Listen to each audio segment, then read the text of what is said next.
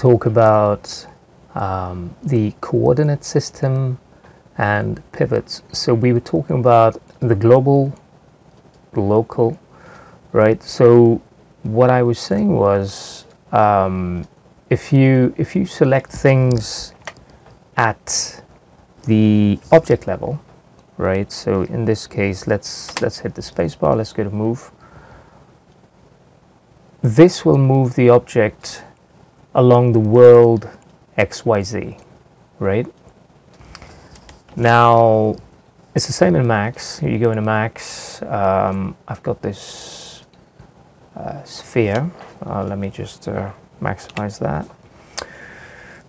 So, if I come into here, I mean, with all these uh, packages, you can move things relative to the view that you're looking at, which might not necessarily line up with where the world is. You know, this this view option here, or screen. You know, it's it's relative to sort of the screen. But if you go to world, then your pivot points on your object are aligned with your world pivot points. So the the um, the orientation of your pivot matches the orientation of world XYZ, right? So this this is this is obviously useful if you're uh, if you want to move to a particular location. Obviously, view and screen have their uses, um, but I think those things are more valuable when you're working at the component level. So, for example, if I go to vertex in this and I grab this vertex here, so if I want to kind of move it relative to so I say I want to move this out in Z right? So if I go to the local what you can see is is that the Z axis is pointing out right?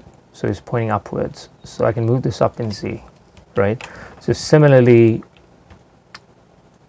if I wanted to move this up if I wanted to move this vertex up what might be helpful would be to use like the view or the screen mode right? So if I if I come here I mean with with um, 3ds Max you can uh, you can constrain to to to the faces um, that is down here right? You can constrain to edge or you can constrain to face and you can you can try and move this. Hang on. Uh, here we go. If I move this up in Y now you can see it's sort of constrained to the face.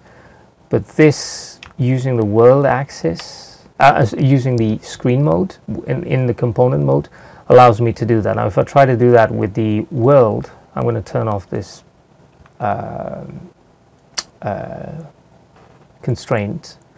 Just turn the constraints off. So now this gets a little bit, you know, fiddly when you're working at the component level, right? So the thing is in Blender you've got the you've got the same sort of setup. Let's come here.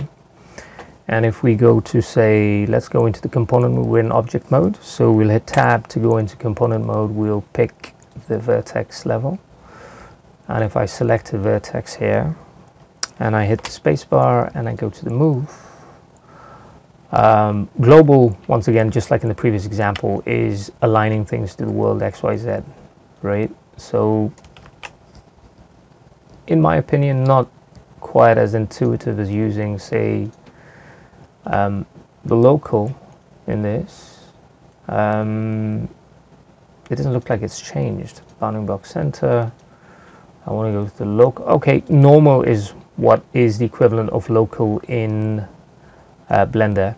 So, uh, so the normal mode is the equivalent to the local mode in 3ds Max, right? So now I can do the same thing that I did in Max, which is move it along normal. This is the kind of thing I want to do with this, is I want it to move outwards.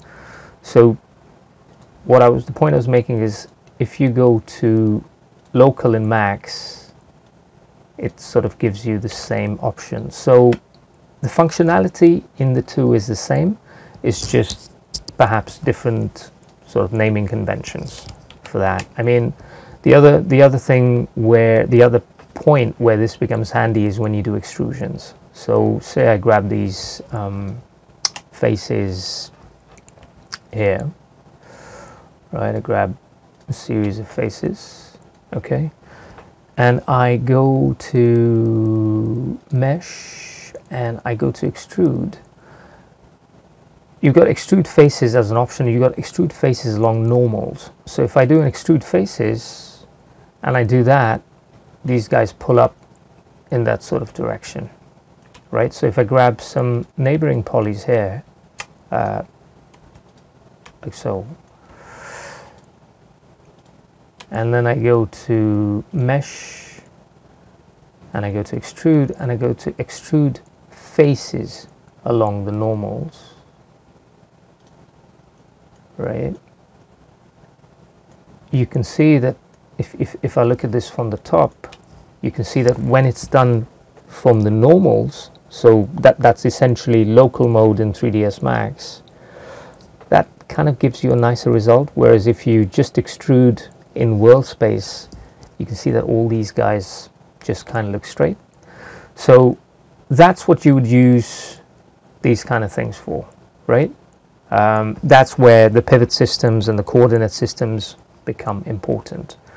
Um, and with that let's move on